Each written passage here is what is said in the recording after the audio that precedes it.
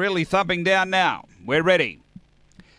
Racing and uh, slow out is Dinah Willem. There's good speed here. Serena's Empire's going to drive and lead from Whipley, and then came Lawbringer. Next, Slippers Soda, Motown, Ketty, Victor Matt. Uh, then Dinah Willem and Gamer Bale. Front runner is Serena's Empire. Well clear coming to the turn from Whipley, and then Lawbringer straightening. Serena's Empire clear of Whipley, and Serena's Empire first. Second home Lawbringer, then Whipley, and behind those next, we had uh, Dinah Willem from Gamer Bale, then Victor Matt, and and uh, it was back toward the tail end. Uh, Motown Kenny with it, 22.70 for the run.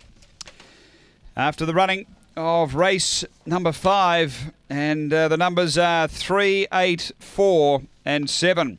Number uh, three, the winner, Serena's Empire, Kevin Manane. A uh, black bitch, April 2015, Dynatron, Liability.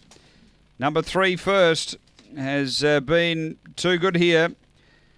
Uh, second, going the way of number eight. It's a double for Kevin as well, of course. Uh, Lawbringer, number eight, John Banner. A Brindle Bitch, February 2014, Velicet, Flipping Cool. And uh, third to four, which is Whip Lee, Morris Kylie, a Black Bitch, March 2015, Brett Lee, Corborn Whip.